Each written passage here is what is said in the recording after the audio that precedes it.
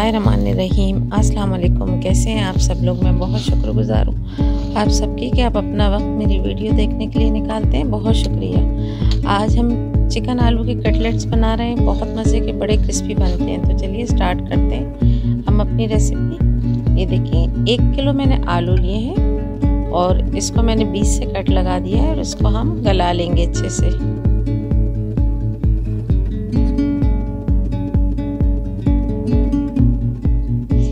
आलू हमारे हो चुके हैं। देखिए, मैं 600 ग्राम का एक ब्रेस्ट का पीस लिया है। इसमें थोड़ा सा नमक डाल रही हूँ ताकि चिकन में अच्छे से नमक हो जाए। उसको हम अच्छे से गला के और इसको मैश कर लेंगे। देखिए, आलू हमारे हो चुके हैं। इसको हम अच्छे से मैश कर लेते हैं।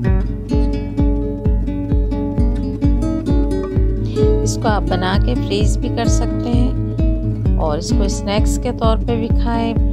साइड डिश के तौर पे भी रखें, बहुत मज़े के लगते हैं। बच्चों को लंच बॉक्स में भी देखें, मैंने इसको श्रेडेड कर ली है चिकन को, और इसको अब हम इसमें मिक्स करेंगे। बहुत ज़्यादा बारीक नहीं मैंने इसको किया, थोड़े मोटे मोटे चम्स में।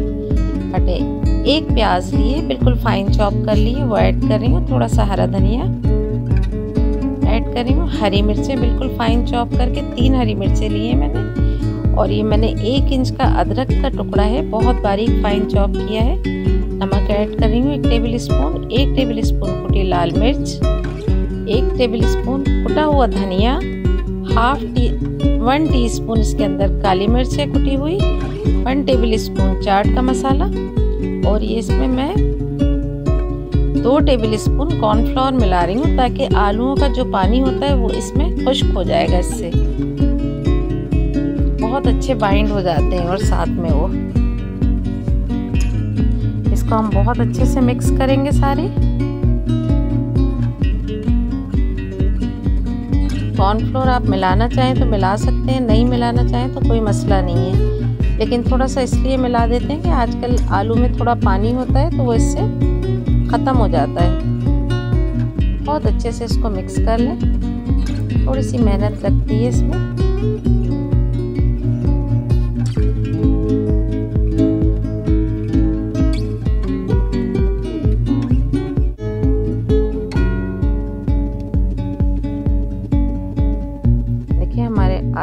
और ये तकरीबन हो चुके हैं। अगर आपको मेरी रेसिपी पसंद आए तो इसको ज़रूर लाइक कीजिएगा शेयर कीजिएगा, मुझे कमेंट करके बताइएगा कि आपको कैसी लगी।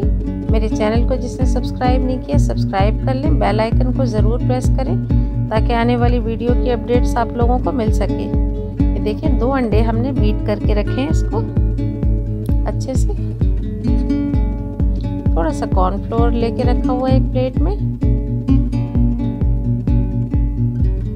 और ये ब्रेड क्रम्स हैं, ये मैंने मोटे वाले लिए हैं, थोड़े बहुत ज़्यादा बारीक वाले नहीं, जो वो बेकरी वाले थे, वो नहीं, ये मोटे वाले हैं, जिससे कलर भी अच्छा आता है और बहुत अच्छे, इससे टेस्ट आता है क्रिस्प बहुत अच्छा बनता है देखिए हम टिक्कियाँ बना लेंगे इसकी। अब इसके कबाब बना लेंगे हम। इसको कोट करूँगी मैं कॉर्नफ्लोर में, थोड़ा सा झाड़ लें इसको और इसको अंडे में डिप करके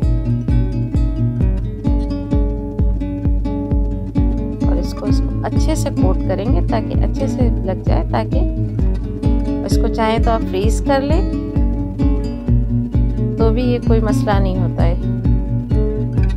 हमने एक पैन में ऑयल गरम करा है और इसको अच्छे से डीप फ्राई कर लेंगे। बहुत क्रिस्पी और बड़े मज़े के बनते हैं। थोड़े से इसको स्पाइसी से बनाइएगा। इसको आप ज़रूर ट्राई कीजिएगा। आपको बहुत पसंद आएँगे साइड से हो गए इसको दोबारा तल लेते हैं। मेरे चैनल को जिसने सब्सक्राइब नहीं किया सब्सक्राइब कर लें। बेल आइकन को ज़रूर प्रेस करें, ताकि आने वाली वीडियो की अपडेट्स आप लोगों को मिल सकें। अच्छे से इसको मतलब मीडियम आप फ्लेम पे उसको करिएगा, बहुत तेज़ आँच पे नहीं तलें, वरना कलर भी ख़राब हो जाता है। और अंदर से अच्छे से नहीं सीख पाते ये।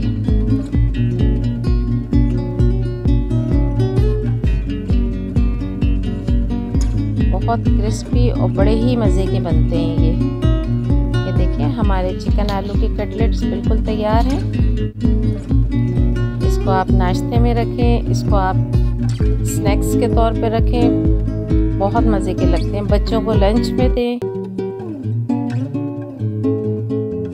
इसको आप ज़रूर ट्राई कीजिएगा। मेरे चैनल को जिसने सब्सक्राइब नहीं किया, सब्सक्राइब कर लें। बेल आइकन को ज़रूर प्रेस करें और मेरे इंस्टाग्राम को भी फॉलो करें। मिलते हैं एक नई रेसिपी के साथ। Take care. अल्लाह हाफिज़।